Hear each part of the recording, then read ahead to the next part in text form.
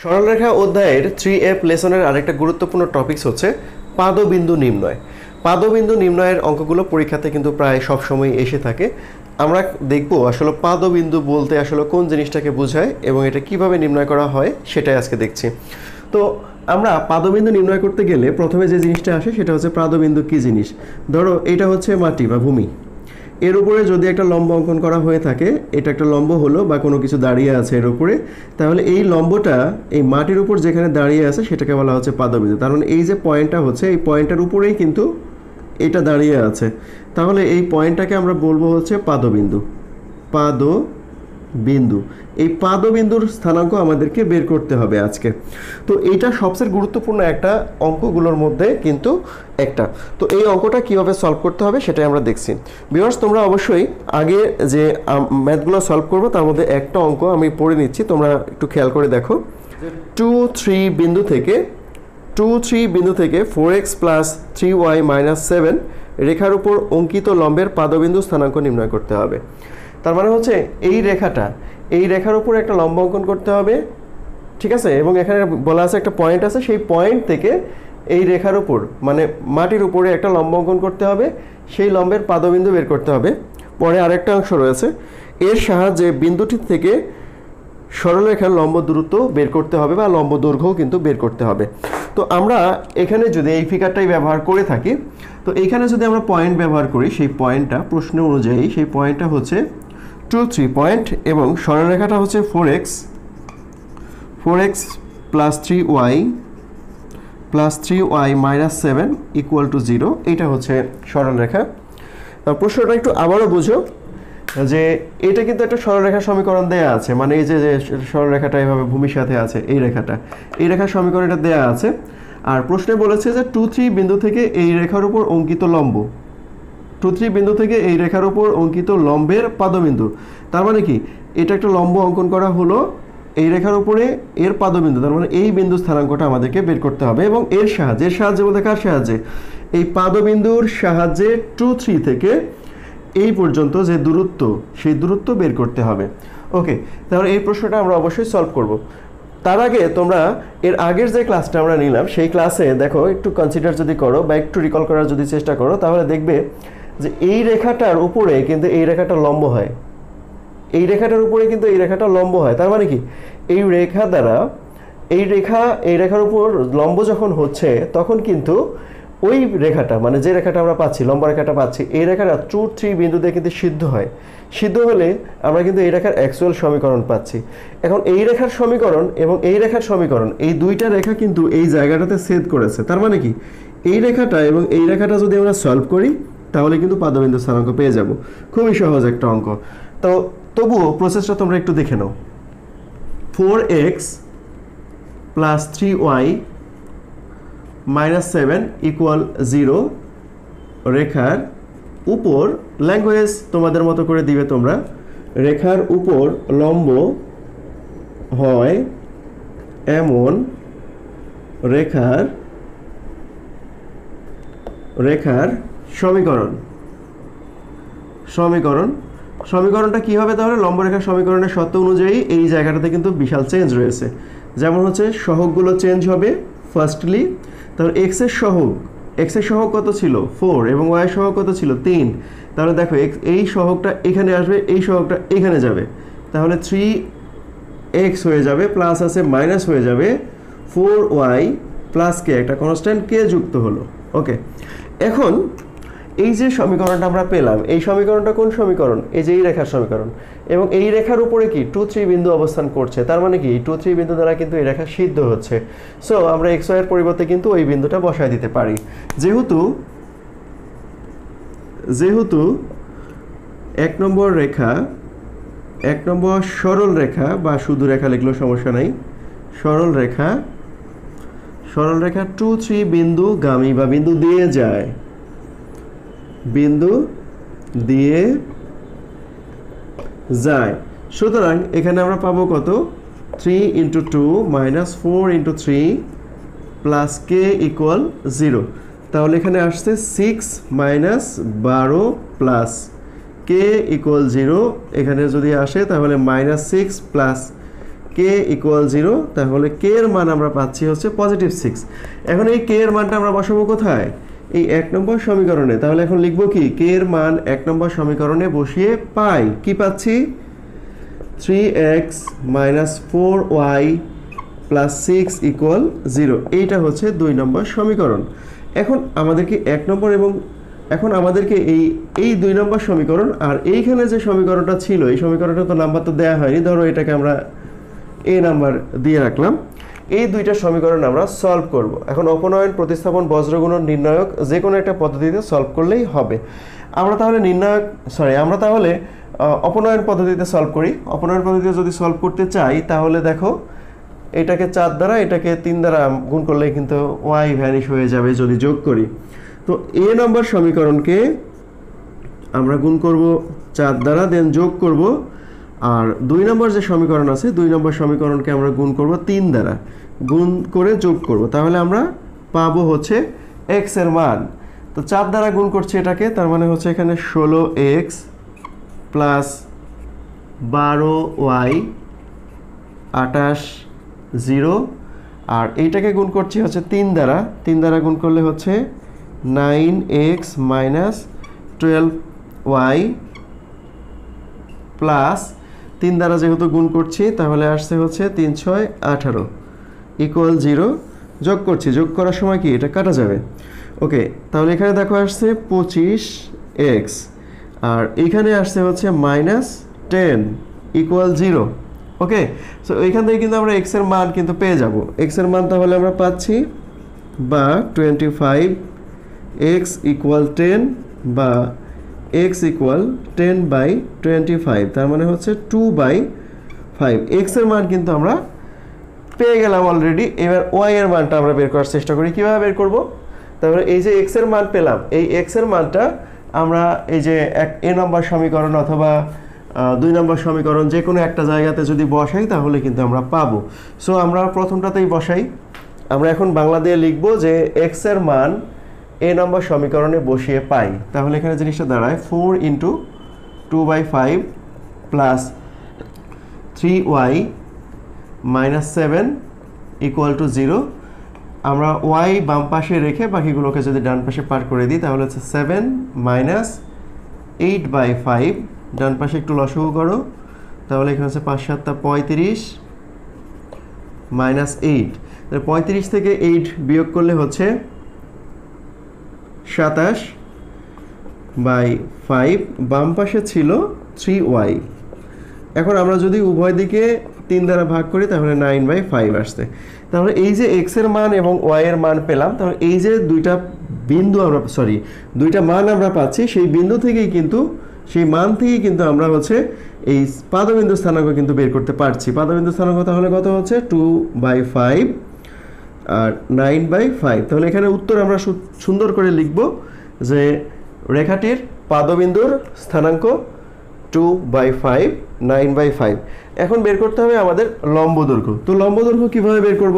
লম্ব দৈর্ঘ্য বের করার সূত্র কিন্তু আমাদের জানা আছে যে দুইটা বিন্দু কিন্তু। এটা একটা বিন্দু আর এটা একটা বিন্দু। এই দুইটা বিন্দুর মধ্যবর্তী দূরত্ব বের করার যে সূত্র ছিল, জানা ছিল, সেই সূত্রটা ব্যবহার করলেই কিন্তু হয়ে যাচ্ছে। তো সেটা কি জানা ছিল আমাদের? বিন্দু দ্বয়ের মধ্যবর্তী দূরত্ব। বিন্দু দ্বয়ের বা লম্ব যাই লিখি না কেন, বিন্দু দ্বয়ের মধ্যবর্তী মধ্যবর্তী দূরত্ব। দূরত্ব সমান, তাহলে কি আসছে? X one minus x two. Two minus two by five, আমরা এই জিনিসগুলো আগে থেকে জেনে এসেছি, তাই আমরা একটু দ্রুত চলে যাচ্ছি। Three minus nine by five whole square. Then, তাহলে এখানে যদি একটু ক্যালকুলেশন করো, তাহলে কত হয় দেখো? পাঁচ। পাঁচ দুটো দশ দশ থেকে দুই বিয়োগ করলে তাহলে আট। তাহলে আটে আটা চৌষট্টি। এখানে হচ্ছে তাহলে চৌষট্টি বাই পঁচিশ যোগ। এখানে কত হচ্ছে তাহলে? তিন, পাঁচ, পনেরো। পনেরো থেকে নয় বিয়োগ করলে হবে ছয়। ছয়কে বর্গ করো। তাহলে ছত্রিশ বাই পঁচিশ। এটা এখন লসগু করো। লসগু করে দেখো কত আসে? ছত্রিশ। আর চৌষট্টি যোগ করলে হচ্ছে একশো।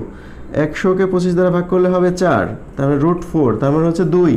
এই দুই একক, তার মানে এইখান থেকে এই পর্যন্ত যে ডিস্টেন্স এই ডিস্টেন্সটা হচ্ছে দুই একক। এই হলো প্রশ্ন। এই প্রশ্নটা কিন্তু অনেক গুরুত্বপূর্ণ। যারা ইন্টারমিডিয়েট লেভেলে পড়াশোনা করছ, তাদের জন্য সবাই খুব গুরুত্ব সহকারে ম্যাথটা সলভ করবে। আশা করি তাহলে তোমরা নিরাশ হবে আমরা আরেকটা প্রশ্ন সলভ করব। সেই প্রশ্নটা হচ্ছে বেশ মজার। জাস্ট আমি প্রশ্নটা পড়ি, আর তোমরা ডিসপ্লের দিকে খেয়াল করো, দেখো প্রশ্নটা কতটা সুন্দর এবং কতটা মজার। Five x minus four y minus one equal to zero minus eight x plus seven y plus one equal to zero রেখাদ্বয়ের ছেদ বিন্দু স্টেশন মাস্টারের কক্ষে অবস্থিত। রেখাদ্বয়ের ছেদ বিন্দু, তার মানে দুইটা সরলরেখা দেওয়া আছে কিন্তু এখানে। এই সরলরেখা যে বিন্দুতে ছেদ করবে, সেটা একটা স্টেশন মাস্টারের কক্ষে অবস্থিত বলে দিয়েছে।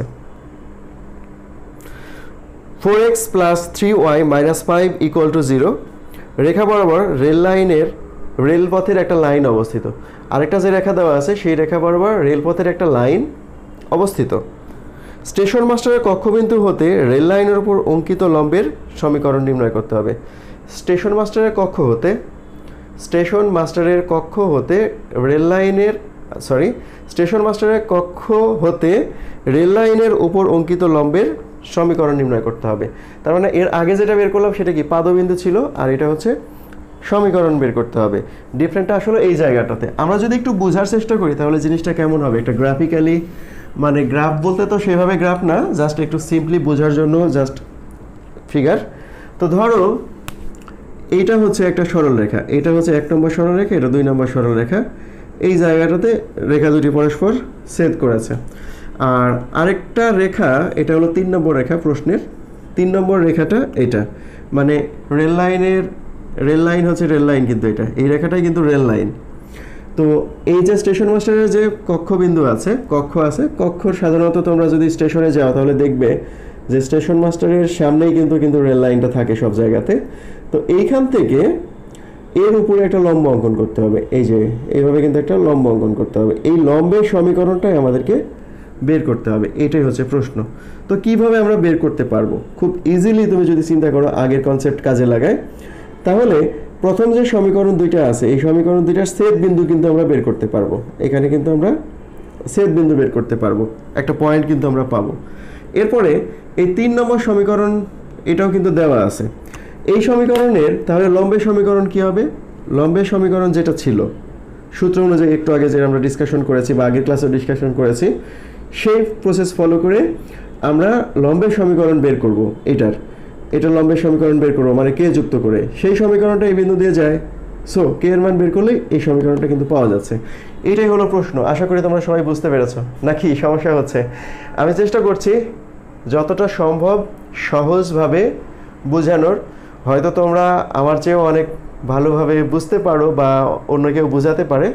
বাট আমি আমার সেরাটা দিয়ে চেষ্টা করছি। তোমরা আমার সাথে থাকো, তাহলে আমি হয়তো এটার আরও অনেক বেশি ইমপ্রুভ করতে পারব। তো প্রথম দুইটা সমীকরণ আমরা লিখে নিই। রেখা দুটি আমরা লিখে নিচ্ছি। প্রথম রেখাটা five x minus four y five x minus four y minus one equal to zero minus eight x plus seven y seven y plus one equal to zero এটা এক নম্বর সমীকরণ দেও, আর এটা দুই নম্বর সমীকরণ দাও। ওকে ফার্স্ট কাজ হবে কি, এই দুইটা সমীকরণ সলভ করে আমাদের এই সেদ বিন্দুটা বের করে নেওয়া এক নম্বর এবং দুই নম্বর রেখার সেদ বিন্দুটা বের করে নেওয়া তো আমরা এটা সলভ করব, দেখো এখানে খুব সিম্পলিভাবে বোঝা যাচ্ছে যে আমরা যদি এক্স ওয়াই যে কোনো একটা ভ্যানিশ করতে পারব তাহলে। যদি আমরা ওয়াই ভ্যানিশ করতে চাই, তাহলে এক নম্বর সমীকরণকে আমরা সাত দ্বারা গুণ করব দেন যোগ করব। দুই নম্বর সমীকরণের সাথে চার দ্বারা গুণ করে। ওকে এক নম্বর সমীকরণকে আমরা সাত দ্বারা গুণ করছি। তাহলে এখানে হচ্ছে পাঁচ সাতটা পঁয়ত্রিশ। এখানে হচ্ছে চার সাত আটাশ এখানে হচ্ছে সাত ইকুয়াল জিরো এবার এটাকে আমরা গুণ করছি হচ্ছে চার দ্বারা। তাহলে চার দ্বারা যদি গুণ করি, তাহলে এখানে হচ্ছে থার্টি টু এক্স প্লাস চার দ্বারা গুণ করছি, তাহলে টোয়েন্টি এইট ওয়াই এখানে হচ্ছে ফোর ইকুয়াল জিরো যেহেতু যোগ করছি, তাহলে চিহ্নের পরিবর্তন নাই, এটা কাটা গেল। এবার এখানে যদি যোগ করি, তাহলে থ্রি এক্স আসছে। আর এখানে হচ্ছে তাহলে এখানে আসছে মাইনাস থ্রি ওকে তাহলে এখান থেকে দেখো এক্সের মান পাচ্ছি আমরা পজিটিভ ওয়ান এবার এই এক্সের মানটা যদি আমরা এক নম্বর সমীকরণে বসাই এক্সের মান এক নম্বর সমীকরণে বসিয়ে পাই। এক নম্বর সমীকরণে বসিয়ে পাই। এক নম্বর সমীকরণে যদি বসাই এক্সের মান, তাহলে হবে five into one minus four y minus one equal to zero তাহলে এখান থেকে আমরা পাবো ফোর ওয়াই ইকুয়াল তাহলে ফাইভ থেকে ওয়ান যদি বিয়োগ করা যায়, তাহলে ফোর তার মানে ওয়াই এর মানও কিন্তু আমরা পাচ্ছি ওয়ান, তাহলে সেত বিন্দু কিন্তু আমরা পেয়ে গেলাম। সেত বিন্দু সেত বিন্দুর স্থানাঙ্ক কিন্তু হচ্ছে ওয়ান ওয়ান।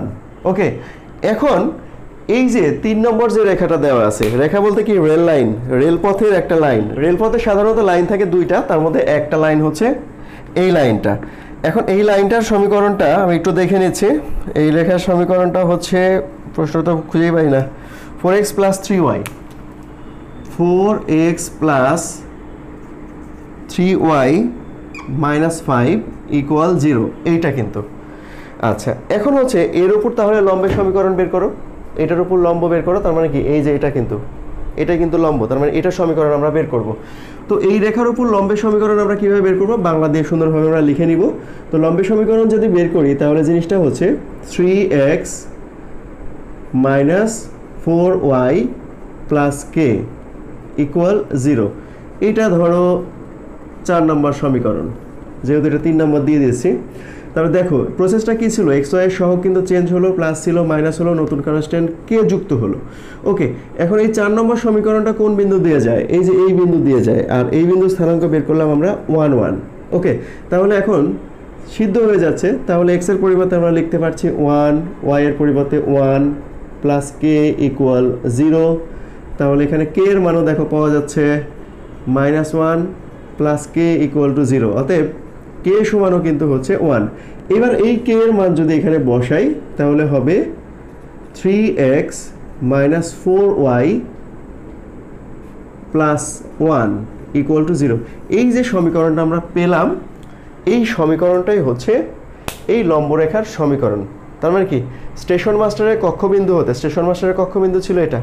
স্টেশন মাস্টারের কক্ষবিন্দু হতে রেল লাইনের ওপর অঙ্কিত লম্বের সমীকরণ কিন্তু এই যে এই জিনিসটা। আমরা খুব সহজে আশা করি বুঝতে পেরেছি। ডিয়ার ছাত্রছাত্রীরা, তোমরা অবশ্যই আমাকে উৎসাহ দিবে যদি কোনো তোমাদের প্রবলেম থাকে, যে কোনো প্রবলেম থাকে। উচ্চতর গণিতের যে কোনো প্রবলেম থাকে, তোমরা সেই ধরনের প্রবলেম বা যে কোনো প্রবলেম আমাকে জানাবে। কিসের মাধ্যমে জানাবে? অবশ্যই ডেসক্রিপশন বক্সে আমার ফেসবুক গ্রুপ ও পেজের লিঙ্ক দেওয়া থাকবে। সেখান থেকে আমাকে সরাসরি জানাতে পারো, তাহলে আমি চেষ্টা করব তোমার সেই প্রবলেমের একটা ভালো সমাধান দেওয়ার। সে পর্যন্ত সবাই ভালো থাকবে, কথা হবে পরবর্তী ক্লাসে ধন্যবাদ সবাইকে।